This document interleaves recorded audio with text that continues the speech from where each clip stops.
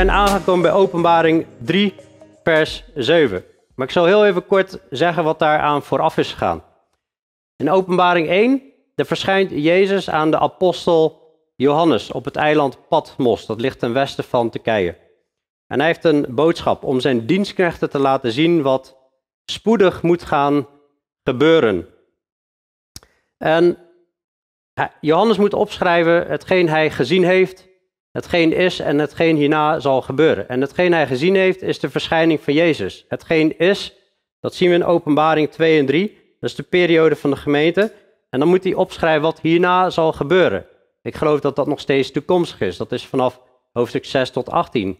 Een periode van grote verdrukking, van extreme rampen die over de aarde zullen komen. Het is bizar wat, daar, wat daarin staat. Dat er op een gegeven moment hagelstenen 45 kilo uit de lucht zullen komen. Water zal in bloed veranderen. Bergen zullen er niet meer zijn. Eilanden van de plek gerukt worden. Dat is een serieuze boodschap. Maar tot die tijd, tot het zover is, en daar gaan we uh, op een gegeven moment later dieper op in, dieper op onderbouwen hoe dat nou in elkaar steekt. Beoordeelt Jezus zeven gemeenten. En dat zijn zeven gemeenten in Azië, hier in het westen van uh, Turkije. Daar heb je Azië, vandaag heet dat Turkije. We zijn vandaag aangekomen bij Philadelphia en Laodicea. Die gaan we vandaag behandelen. En ik heb even de titel genoemd, de trouwe en de lauwe kerk. Je hebt één kerk, dat is Philadelphia, die is trouw aan de Heer. en de andere kerk, Laodicea, die is lauw. En dat is ook niet te zuinig wat Jezus daarover zegt. Hij is daar niet blij mee. Die andere gemeente is hij wel blij mee, heeft hij geen, uh, geen opmerking op. En hij heeft het ook over open deuren. Hè, dat hij een deur opent die niemand kan sluiten. En de samenvatting is dat hij hun werken kent. Hij heeft de open deur. Ze hebben, ze hebben weinig kracht of kleine kracht. En u hebt mijn woord bewaard en mijn naam niet verlogend. En dan prijst hij hun eigenlijk om. En hij, ja, hij wil hun daarin belonen. Maar laten we het gewoon eens lezen. En tegelijkertijd, de boodschap is aan zeven gemeenten, direct gericht toen. En tegelijkertijd zie je steeds op het eind, wie oren heeft, laat hij horen wat de geest tegen de gemeenten in meervoud zegt. Dus deze boodschap is net zo goed voor ons natuurlijk. en schrijf, vers 7, hoofdstuk 3, vers 7. Schrijf aan de engel van de gemeente in Philadelphia. Dit zegt de heilige, de waarachtige, die de sleutel van David heeft, die opent en niemand sluit. En hij sluit en niemand opent. Ik ken uw werken. Zie, ik heb voor uw ogen een geopende deur gegeven. En niemand kan die sluiten. Want u hebt weinig kracht en toch hebt u mijn woord in acht genomen en mijn naam niet verlogend. Zie, ik geef u enige uit de synagogen van de Satan, van hen die zeggen dat ze Joden zijn en het niet zijn, maar liegen. Zie, ik zal maken dat ze komen en aan uw voeten aanbidden en erkennen dat ik u lief heb. Omdat u het woord van mijn volharding hebt bewaard, zal ik ook u bewaren van het uur van de verzoeking die over heel de wereld komen zal, om hen die op de aarde wonen te verzoeken. Zie, ik kom spoedig. Houd vast wat u hebt opdat niemand uw kroon zal wegnemen. Wie overwint, hem zal ik tot een zuil in de tempel van mijn God maken. En hij zal daaruit niet meer weggaan. En ik zal de naam van mijn God op hem schrijven en de naam van de stad van mijn God. Het nieuwe Jeruzalem dat neerdaalt uit de hemel. Bij mijn God vandaan en mijn nieuwe naam. Wie oren heeft, laat hij horen wat de geest tegen de gemeenten zegt. Dus ook hier zien we weer dat uh, schrijf aan de engel. Een engel betekent boodschapper, dat er een bericht uitgestuurd moet worden aan de boodschapper, degene die de boodschap gaat brengen aan de gemeente in Philadelphia. En dan zegt Jezus, dit zegt de heilige, de waarachtige, die de sleutel van David heeft, die opent en niemand sluit, en hij sluit en niemand opent. Jezus stelt zich hier voor als de heilige en de waarachtige.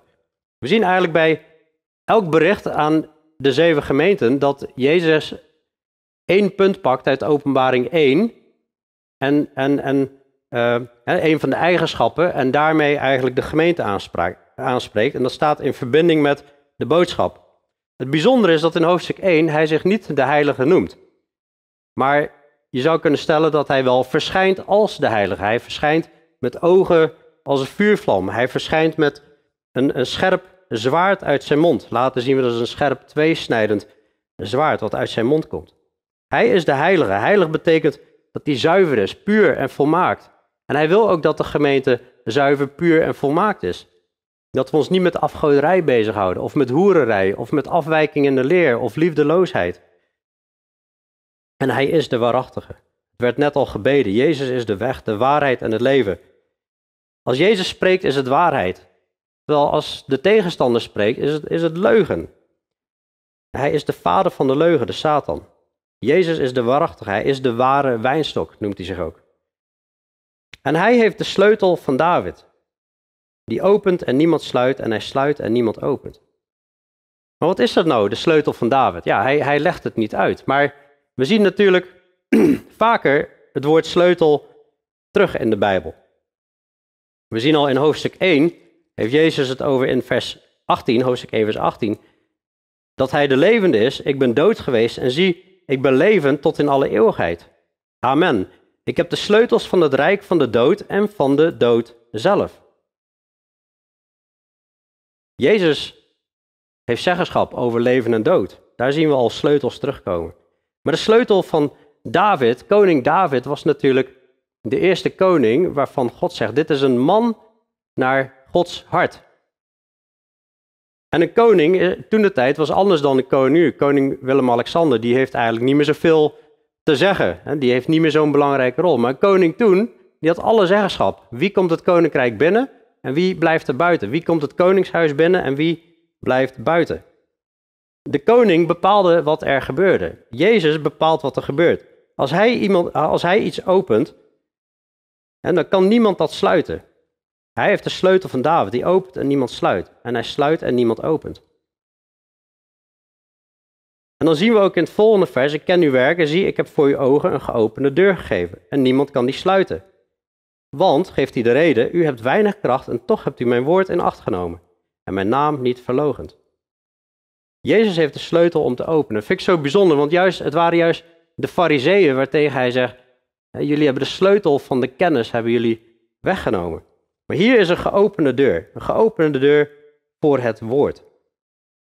En, of in ieder geval vanwege het woord. Hè. U hebt weinig kracht, toch hebt u mijn woord in acht genomen en mijn naam niet verlogend. En wat die open deur precies is, hè, dat, dat wordt niet uitgelegd. Maar mogelijk heeft het iets te maken met die mensen uit de synagoge van de Satan. Die zullen komen om te aanbidden en erkennen dat Jezus hun lief heeft, zoals we in vers 9 zien. Maar er was uh, Charles Spurgeon, dat is een, uh, ja, een bekende evangelist, zeg maar. En uh, daar las ik over dat op een gegeven moment iemand naar hem toe kwam. Die zei, ja, hoe weet ik nou wanneer God een deur opent of niet? En daar zijn we natuurlijk allemaal naar op zoek. Soms zit een deur dicht, soms is hij open. En hij zei gewoon heel simpel tegen die man, wat doe jij voor werk? zei, ja, ik ben machinist. Nou, dat was nog in de tijd dat je stoomtreinen had. En hij zei heel simpel, oké, en, die, en die collega van jou die kolen schept, uh, weet je al of hij christen is of niet? Nee, nee, nee, ik zou het, uh, ik zou het eigenlijk niet weten. Nou, ga het hem vragen, probeer erachter te komen. En dan zul je ontdekken of je een geopende deur hebt of niet. Dat was gewoon heel praktisch. Ik geloof dat we hier ook een geopende deur hebben. Een geopende deur om het woord gewoon heerlijk te mogen openen en gewoon te kijken van wat heeft God hier te zeggen.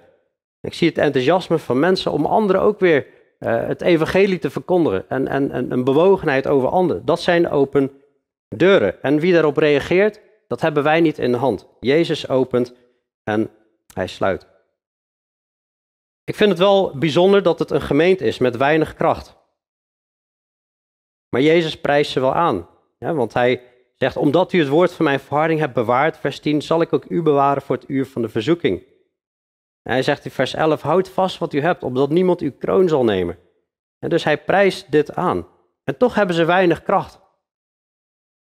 Maar wat is dat dan, die kracht? Is, is het dan, betekent dat dat het een kleine gemeente was? Of hebben ze battles gehad, waren ze vermoeid? En we weten het niet precies. Heel veel vermoeden dat het gewoon een kleinere gemeente was en dat ze daardoor weinig kracht hadden.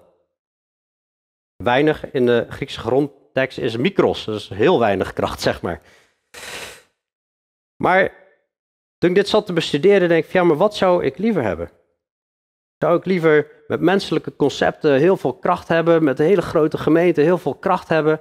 maar ondertussen dat de Heer misschien een gesloten deur heeft gegeven. En dat we zelf deuren aan het openrammen zijn. Ik denk dat we beter kunnen hebben dat wij weinig kracht hebben en het woord in acht nemen en zijn naam niet verlogen. En dat hij dan de deuren opent die niemand kan sluiten. Ook met het openen van deuren denk ik, ja, God, God is eigenlijk gewoon echt zo machtig. Als je nadenkt over verhalen die we zien in het Oude Testament. Wie had het voor, voor mogelijk gehouden dat het volk Israël in slavernij bij de Egyptenaren, dat die in één keer, ja in één keer, het ging in tien stappen, maar dat, dat die uh, zouden ontsnappen aan, aan, die, aan die ijzeren hand van de farao. Maar als God een deur opent, dan, dan gaat het gebeuren. En dat was krachtig. En uh, farao komt er zelfs achteraan en de, de zee splijt zelfs open. Als God een deur opent, dan gaat het gebeuren. Later zie je ook dat Israël lang ongehoorzaam is geweest. Gaan ze 70 jaar gevangenschap. Dan zitten ze uh, in Babylon. Babylon was een machtig rijk. Hè? Wie kon daar nou tegen stand houden? Dat was echt onmogelijk, zo'n sterk rijk. En toch zegt hij in Jezaja 45 tegen koning Kores, hè, de, de Mede en Perzen hebben toen uh, het Babylonische Rijk overwonnen. Ik zal bronzen deuren zal ik openbreken en ijzeren grendels die zal ik stuk slaan. En zo heeft Kores heeft Babylon overwonnen. En uiteindelijk zijn de Joden toen weer teruggegaan na 70 jaar naar hun land. Als God een deur opent, dan gaat hij ook open. En dan kan niemand hem sluiten. We moeten echt bidden voor geopende deuren. En ik denk als wij in zijn woord gaan wandelen en die in acht nemen, dat de Heer dat ook echt wil doen. Dat zie je hier. En zijn naam niet verlogenen. En er zal misschien verdrukking komen, er zal misschien moeite komen. Hij noemt het ook in vers 10, het woord van mijn volharding. Volhouden, zeg maar. En ik geloof dat deze gemeente het woord van God goed bestudeerd heeft. Dat ze goed hebben gekeken naar wat de Heer eigenlijk wilde. Als je door het woord leest, toen ik uh, jaren geleden onderweg naar mijn werk als projectcoördinator die Bijbel ging luisteren, in uh, die audiobijbel, toen schrok ik eigenlijk. Dat ik dacht, ik wandel helemaal niet zoals de Bijbel oproept dat we zouden moeten wandelen. Ik moet, ik moet echt in het woord zijn, dagelijks. Daar roept de Bijbel toe op. En dat had deze gemeente begrepen. Als wij eens gewoon even langs een paar versen gaan, die je terugvindt in de Bijbel, dan staat hier heel de schrift, in 2 Timotheüs 3 vers 16, is door God ingegeven. En is nuttig om daarmee te onderwijzen, te weerleggen, te verbeteren en op te voeden in de rechtvaardigheid. Opdat de mens die God toebehoort volmaakt zou zijn, tot elk goed werk volkomen toegerust. Dus de Bijbel zegt dat we de Bijbel nodig hebben om tot volmaaktheid te komen. Natuurlijk zijn we schoongewassen door het bloed van Jezus, gereinigd, geheiligd op het moment dat we tot geloof komen. Maar dan moeten we nog vernieuwd, veranderd worden in ons denken. Opdat de mens die God toebehoort volmaakt zou zijn. Het woord van God schuurt en schaaft ons. Zodat we tot elk goed werk voorkomen toegerust zijn. 2 Timotheüs 2 vers 15. Beijver u of studeer, study to show yourself approved, uh, om uzelf wel beproefd voor God te stellen. Als een arbeider die zich niet hoeft te schamen en die het woord van de waarheid rechtsnijdt. We zullen straks een gemeente zien waar ze hier de plank hebben misgeslagen, waar ze zich wel moeten schamen. Jezus zei, als je in mijn woord blijft, ben je werkelijk mijn volgelingen. En je zult de waarheid kennen en de waarheid zal je vrijmaken. Dit schuurt en schaaft ons en dan ben je zijn volgeling. Als jij hem gaat gehoorzamen, hem volgen en doen wat hij zegt. 1 Petrus 2 vers 2 zegt, verlang vurig als pasgeboren kinderen naar de zuivere melk van het woord, opdat u daardoor mag opgroeien. Indien u tenminste geproefd hebt dat de Heer een goede tier is. Als pasgeboren kinderen. Ik heb vier kinderen en nou, als die pasgeboren zijn en ze hebben honger, Peter, hoe reageer Dan ga je het horen, hè? Die schreeuwen het uit, geef mij, geef mij eten. Jezus zei, als je mij lief hebt, neem mijn geboden in acht. Heeft niks te maken met je redding, maar dit is hem gehoorzamen uit liefde. Als je mij, als je Jezus lief hebt, dan doe je wat hij zegt. Daar hebben we zijn woord voor nodig. Colossense 3 vers 16. Laat het woord van Christus rijkelijk in je wonen. Hebreeën 5 vers 14. Voor de volwassenen, daar staat letterlijk voor de volmaakten, is er het vaste voedsel. En dit stukje is interessant. Het gaat over mensen. Gezien de tijd hadden ze leraars moeten zijn. En ze worden vermaand en dat ze het woord van God niet kennen. Dat ze nog aan de kindermelk zitten. Dat ze eigenlijk nog in de luiers zitten in een geestelijk geloof. Maar voor de volwassenen is er het vaste voedsel. Voor hen die hun zintuigen door het gebruik ervan geoefend hebben om te kunnen onderscheiden tussen goed en kwaad. Ken je het woord, dan leer je wat goed en kwaad is. Dan leer je onderscheiden, hey, klopt deze leer wel, klopt deze leer niet. We hebben gezien hoe vaak er verkeerde leringen ook binnenkwamen. Hier, hiermee kun je onderscheiden tussen goed en kwaad. Paulus zegt tegen de opzieners in Efeze: Ik heb niet nagelaten u heel het raadsbesluit van God te verkondigen. Paulus was niet bezig alleen maar hapsnap preekjes te brengen, zeg maar. En eh, een beetje ja, een inspiratieverhaal te geven. Nee, hij verkondigt het hele raadsbesluit van God. En daarom geloof ik dat het goed is dat wij een boek pakken en dan gaan we vers voor vers erheen. Dat is het hele raadsbesluit van God prediken. Psalm 1, bekende psalm. Er zijn twee wegen. Hè? Dat is Gods woord overdenken en erin wandelen of de weg van de goddelozen. Als je die weg bewandelt, dan ben je hè, zijn woord overdenken bij, nacht en, bij dag en nacht of zijn wet. Dan ben je als een boom geplant aan waterstromen. En die, zijn blad zal niet verwelken, en hij zal vrucht geven op zijn tijd. Paulus zegt tegen Timotheus, ik bezweer u ten overstaan van God en de Heer Jezus Christus, die levende en doden zal oordelen bij zijn verschijning in zijn koninkrijk. Wat moet hij doen? Predik het woord. Volhard daarin, gelegen of ongelegen. Altijd dus. Weerleg, bestraf, vermaan. Nou ja, dat hoort toch niet meer bij het huidige christendom. Maar ja, de Bijbel zegt het wel. En dat met alle geduld en onderwijs. En als je dan verder leest, dan zegt hij, want er komt een tijd dat ze de gezonde leer niet meer zullen kunnen verdragen, maar ze zullen zich leraren uitkiezen die hun gehoor zal strelen. Ze zullen zich afkeren van de waarheid en ze zullen zich wenden tot verzinselen. Maar hoe weet je nou of je naar verzinsels zit te luisteren op een zondag of dat je het woord van God hoort? Ik denk als wij vers voor vers door het woord gaan, dat we dat het beste kunnen doen, want dan weet je of je naar het woord van God zit te luisteren of naar verzinsels. Ik laat er bewust even veel zien, omdat het ook gewoon echt veel voorkomt. Ik had nog eens een, een veel langere lijst kunnen laten zien. Maar deze gemeente heeft dit begrepen. En Jezus is echt blij met ze. En tegelijkertijd hebben ze ook battles. Vers 9. Ik geef u enige uit de synagogen van de Satan. Voor hen die zeggen dat ze Joden zijn en niet zijn, maar liegen. Nou, dat hebben we eerder ook al gezien bij de gemeente in Smyrna. Dat was een vervolgde gemeente, die waren arm, maar Jezus prijst deze gemeente. Hij zegt, jullie zijn rijk.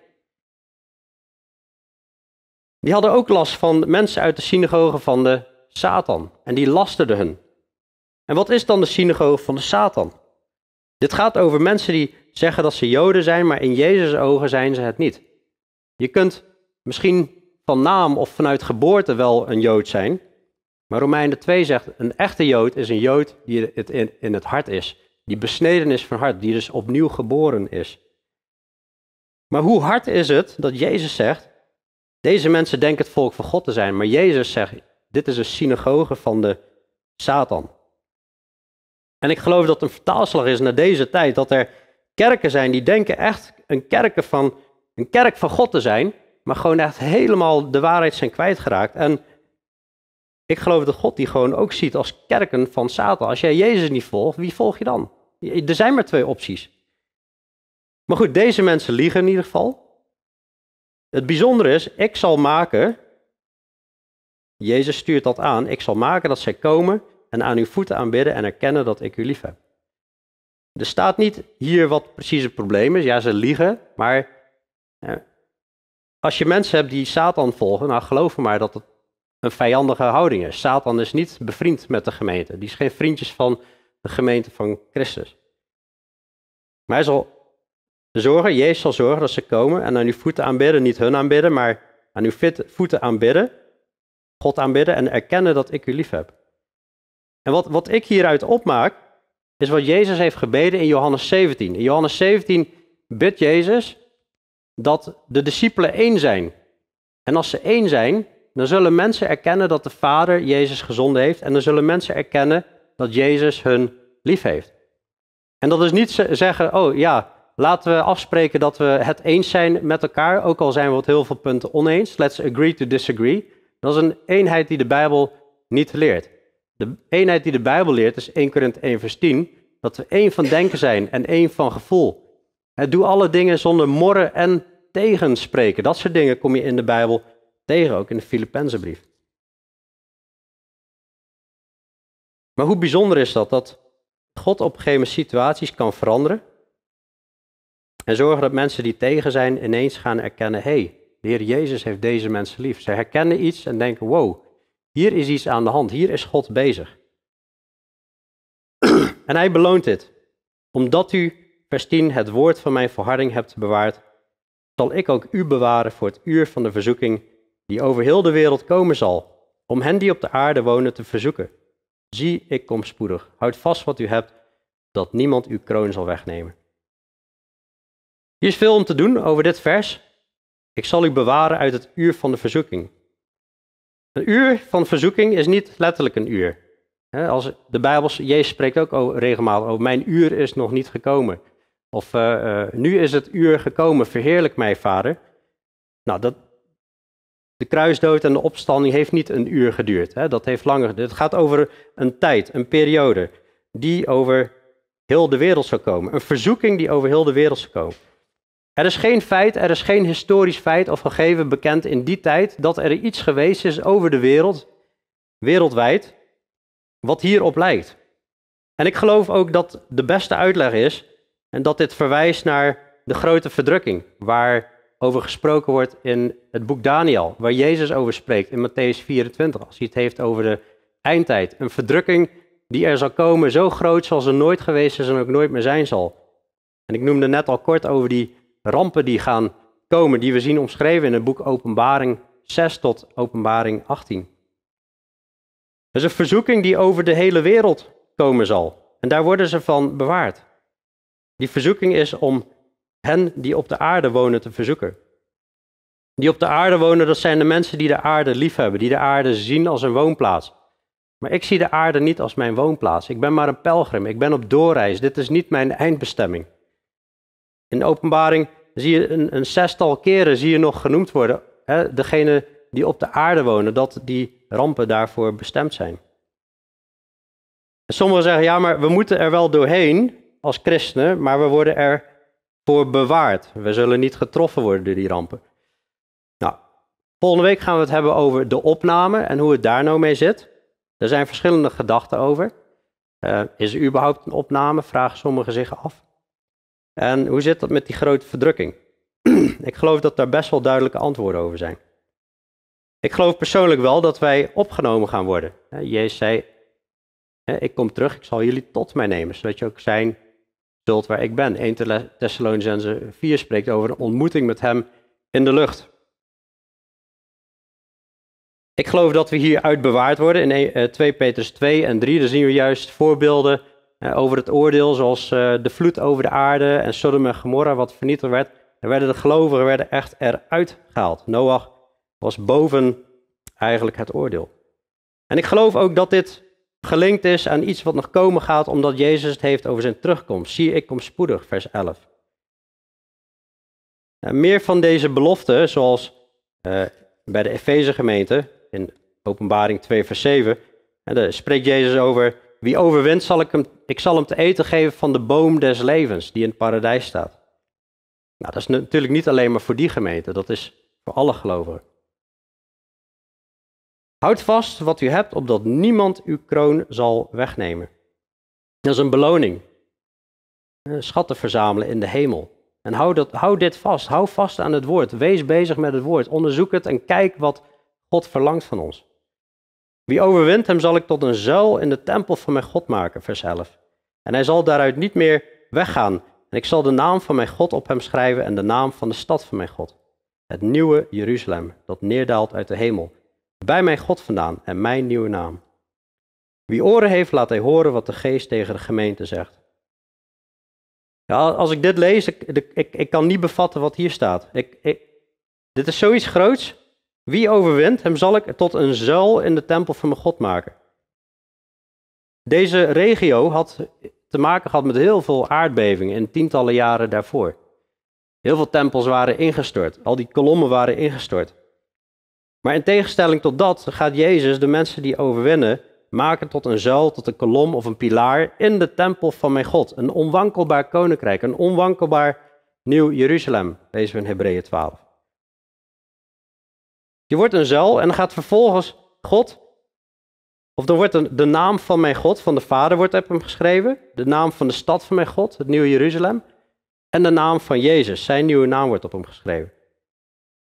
In die tijd, als een, een naam op een kolom geschreven werd, dat, dat, dat werd gedaan bij beroemdheden. Die kregen een speciale eretitel op kolommen in belangrijke gebouwen. Je kunt een beetje vergelijken met Hollywood. Daar heb je de Walk of Fame. Daar krijgen, beroemdheden krijgen een eigen stoeptegel. En uh, nou goed, dat is een hele eer als je daar dan uh, uh, ligt. Maar in die tijd schreven ze namen op kolommen, op pilaren. en dit lijkt een soort vergelijk daarmee te zijn. En wie oren heeft, laat hij horen wat de geest tegen de gemeenten zegt. Dus Jezus spreekt hier de boodschap. En ondertussen zegt hij, mag Gods geest zijn werk doen in jouw hart? Wil je hierop reageren? En als je denkt te horen van, hé, hey, wacht eens even. Um, ik doe dit misschien niet zo. En dan is het eigenlijk de geest die al overtuigt. En dan moeten wij oren hebben om te horen. ofwel echt gaan luisteren en het doen, zeg maar. Hiermee aan de slag gaan. Dat is een, een boodschap aan de gemeenten in meervoud. Dus dit is een gemeente die de Heer Jezus prijst. Samen met de gemeente in Smyrna zijn dit de enige twee van de zeven die Jezus prijst. Eén gemeente, is Sardis, die krijgt totaal geen lof, helemaal nog niet eens een compliment. En de andere hebben goede punten en middengoede punten. De volgende gemeente is Laodicea.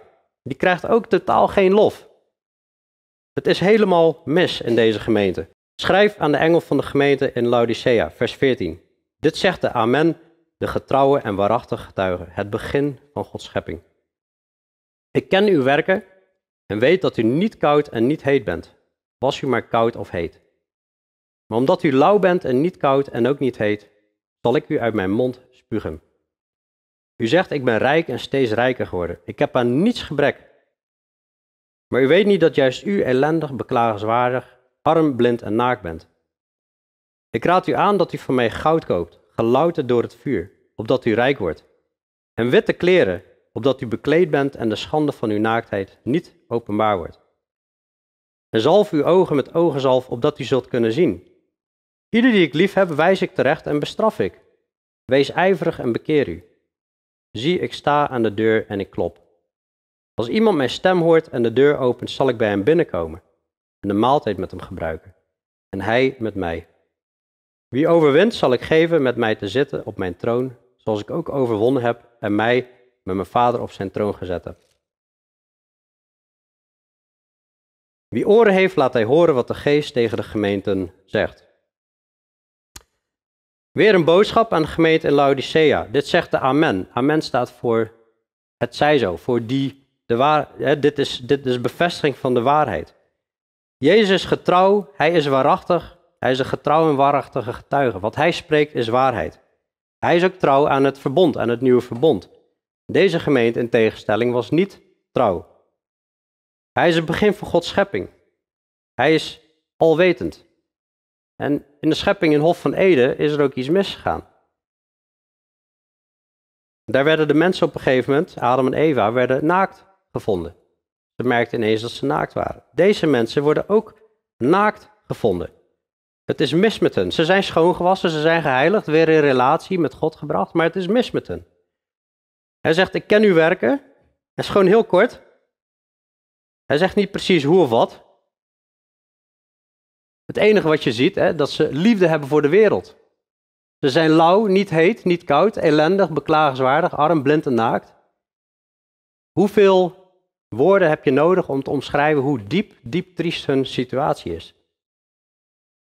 Was u maar koud of heet? Nee, ze zijn lauw. Omdat u lauw bent en niet koud en ook niet heet, zal ik u uit mijn mond spugen. En dan vind ik dat de, in de HSV, de vertalen ze nog heel lief eigenlijk, spuwen. Ja? In de uh, grondtekst is het gewoon overgeven en braken. Eh, ik vind het wel eens bijzonder hoe je soms in voorbereiding bent met een preek en God wel eens um, ja, je dingen echt op het hart legt en duidelijk maakt. En je soort een het eigen maken bent. En nou was het het toeval dat ik vrijdag op zaterdag gewoon uh, ja, echt behoorlijk ziek ben geweest. En in de nacht flink heb overgegeven. En ik kon niet anders dan hier aan denken met, met wat een kracht dat komt als je moet overgeven. Sorry voor de details, maar ik kon niet anders dan aan dit verhaal denken. Denk, dat ik denk van, jongen, jongen, dat komt er met zo'n geweld uit. Dit is echt heel erg wat hier staat. Deze mensen zijn rijk en steeds rijker geworden. Niet koud, niet heet. En er waren heet waterbronnen in de buurt daar. En dan kon je dan nog baden. Dat was goed voor je gezondheid. En er waren koud water, riviertjes en dat is verfrissend. Maar dat lauwe, daar heb je niks aan. En daar ontwikkelden bacteriën heel snel in. Dat hebben wij in onze tijd ook. Als, als je kraanwater hebt, wat meer dan drie dagen boven de 25 graden is, dan kan legionella bacteriën gaan ontwikkelen. Dat kan hele ernstige ziektes tot de dood uh, veroorzaken. In België was er nog legionella vergiftiging afgelopen week. Maar het probleem is, ze zijn rijk en steeds rijker geworden. In 1 Timotheüs 6 leren we al dat eh, niet alleen de rijken worden gewaarschuwd, maar alle die rijk willen worden. En dat is een valstrik. Geldzucht is de wortel van alle kwaad. Er is zo'n verhaal in, in, de, in de Bijbel. Jezus spreekt hier en dat is een gelijkenis en dat is dit. Het land van de rijke man had veel opgebracht. En hij overlegde bij zichzelf en zei, wat zal ik doen? Ik heb geen ruimte om mijn vruchten op te slaan. En hij zei, dit zal ik doen. Ik zal mijn schuren afbreken en grotere bouwen. En ik zal daarin al mijn koren en al mijn goederen opslaan. En ik zal tegen mijn ziel zeggen, ziel, u hebt veel goederen liggen voor veel jaren. Neem rust, eet, drink en wees vrolijk. God zei tegen hem, dwaas, in deze nacht zal men uw ziel van u opeisen. En wat u gereed gemaakt hebt, voor wie zal het zijn? Zo is het met hem die voor zichzelf schatten verzamelt en niet rijk is in God.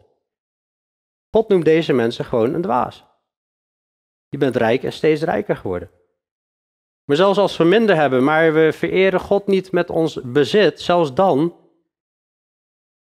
is God niet blij. Jezus prees die vrouw met die twee pennetjes, die alles gaf ten opzichte van al die anderen die vanuit hun overvloed gaven. Maar deze gaf vanuit haar levensonderhoud. Deze mensen zijn ellendig, beklagenswaardig, arm, blind en naakt. En ik denk dat dit een grote waarschuwing is voor ons in het Westen, met veel rijkdom. Heel veel rijkdom hebben we om ons heen. Je hebt zoveel spullen en het kan allemaal afleiden van God. Maar zoek eerst het koninkrijk van God en zijn gerechtigheid. Verzamel geen schatten op aarde. Al die dingen die, die, die komen wel, zegt Jezus. En als je naakt bent, ja, stel je loopt op straat en, en, en ze beroven je van je kleren, dat is een schande. Dan voel je je voor schut staan. En zo spreekt Jezus over deze mensen. In tegenstelling tot de mensen uit Smyrna, die juist heel erg arm waren en verdrukking hadden. Maar die zijn rijk, zegt hij. Jezus raadt hen aan, vers 18, dat u van mij goud koopt, gelouterd door het vuur, opdat u rijk wordt.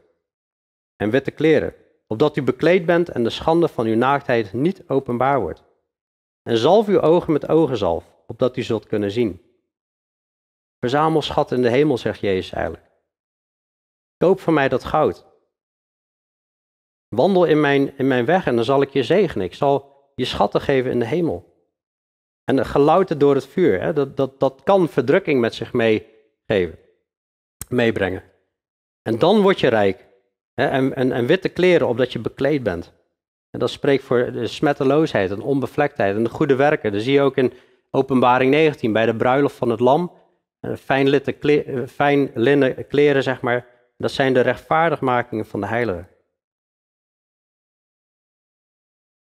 En zalf uw ogen met ogenzalf, opdat u zult kunnen zien. In die stad was een, een belangrijk uh, product, handelsproduct, dat was ogenzalf. Dat, dat, was voor de gezondheid en voor betere ogen, zeg maar. Of om je ogen goed te, schoon te kunnen maken. Eigenlijk zegt hij, poets die dollartekens uit je ogen, zodat je kunt zien. En nu zijn jullie blind. De dollars, de euro's, ja natuurlijk hadden ze die niet, andere geldeenheid, uh, munteenheid, maar het verblindt je. En dit is misschien hard, maar hij zegt in vers 19: Ieder die ik lief heb, wijs ik terecht en bestraf ik. Dit is echt uit liefde van, van Jezus. Hij heeft hen nog lief. Hij wijst maar tegelijkertijd, als je zo doorgaat, ik spuug je uit mijn mond. Ik walg hiervan. En ik, hij wijst hier terecht en als ze doorgaan, bestraft hij ze. Wees ijverig en bekeer u. En zet je vurig in. Kom, een andere richting op, zegt Jezus. Ga hier niet mee door. Dit is niet zomaar iemand die spreekt, dit is God persoonlijk. Jezus die spreekt. Ga hier niet mee door. Vers 20. Ik sta aan de deur en ik klop. Kennelijk was Jezus buiten gezet. En ik klop. Als iemand mijn stem hoort en de deur opent, zal ik bij hem binnenkomen. Hij klopt, maar ja, wie, wie doet er open? Wie luistert hiernaar? Wie hoort zijn stem en zegt: Hé, hey, hier moet ik iets mee. Wat ben ik aan het doen met mijn tijd? Ben ik bezig? Ben ik carrièregericht bezig? Waar gaat mijn hart naar uit? Hij klopt. En als je open doet, zal hij bij hem binnenkomen en de maaltijd met hem gebruiken. En het bijzondere is, dit spreekt hij tegen een kerk. Vaak wordt dit vers gebruikt van, voor ongelovigen.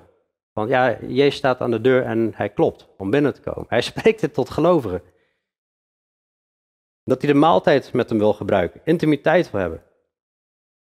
En dan zal diegene met hem intimiteit hebben. Wie overwint, zal ik geven met mij te zitten op mijn troon, zoals ook ik overwonnen heb en mij met mijn vader op zijn troon gezet heb. Wat een contrast. Of uit de mond gespuugd worden, of zitten met Jezus op de troon. En zo is het elke keer. Die contrasten die zijn echt extreem. Wandelen in Gods weg is zegen. Niet wandelen in Gods weg is gewoon vloek. En ik kan het niet mooier maken dan dat. Het is gewoon wat het is. En daar zullen wij mee moeten dealen. En weer, wie oren heeft, laat hij horen wat de geest tegen de gemeenten zegt. Dus we hebben zeven keer gehoord, wie oren heeft, laat hij horen wat de geest tot de gemeenten zegt. Dus mijn vraag is, hebben wij uit deze gedeelten iets gehoord wat de geest tot ons zegt? Het is belangrijk dat we hiermee aan de slag gaan. In 1 Petrus 4, vers 17 staat, nu is het tijd dat het oordeel begint bij het huis van God. Om ons te zuiveren.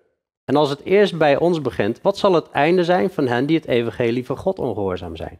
Dat gaan we zien in de rest van de openbaring. En ik wil eigenlijk huiswerk meegeven. Dit doe ik normaal nooit, maar ik, kan niemand verplichten, maar ik wil het je sterk aanraden. We hebben gekeken naar Sardes en Laodicea. Daar, daar stond het, het licht helemaal op rood. Het was echt verschrikkelijk. We hebben gekeken naar Efeze, Pergamus, Thyatira. Die moesten hard op de rem trappen. Ze deden dingen goed, maar hard op de rem trappen. En Smyrna en Philadelphia, die zegent de Heer. Maar ga eens kijken van, wat zijn eigenlijk de dingen die de Heer daarin verlangt? En wat zijn de dingen die hij niet verlangt? En wat zijn de gevolgen als je niet gehoor geeft? En wat zijn de gevolgen als je wel gehoor geeft? Ik zou willen vragen, kijk, ik denk dat we een, maand of drie bezig zullen zijn met de rest van de openbaring. En dat is wat minder praktisch in de wandel. Maar dat wil niet zeggen dat wij niet meer praktisch bezig moeten zijn met onze wandel. Om dit zelf uit te zoeken, ga nog eens die brief door. Kijk, wat vraagt de Heer en wat wil hij waar we mee stoppen? Wat is de zegen, wat is de vloek? Zet dat op een rij, op papier, hang het bij je bed of een plek waar je vaak komt, desnoods op de wc. Uh, om daar in gebed steeds mee bezig te zijn. Heer, wilt u mij maken zoals u wil? Wilt u mij vormen? Wilt u mij kneden? Wilt u mij transformeren? En daar gewoon eens drie maanden op richten, desnoods met bidden en vasten.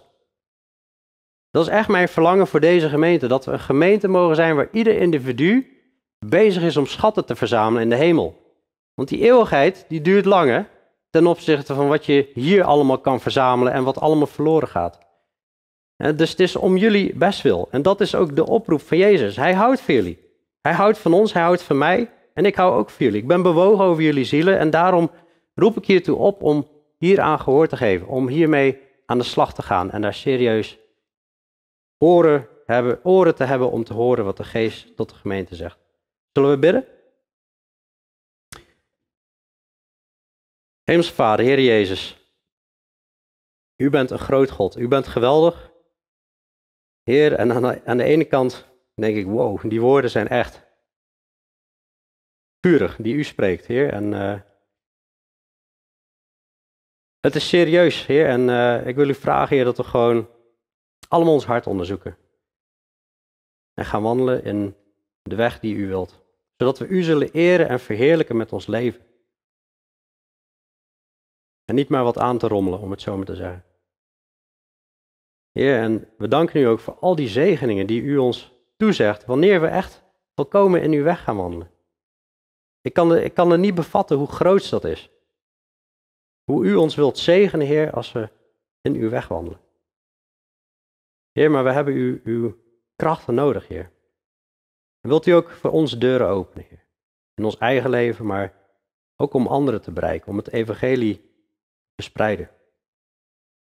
Heer, leid ons zo door uw geest, Heer, en uh, zegen ook deze gemeente. Ieder die hier aanwezig is. In Jezus' naam. Amen.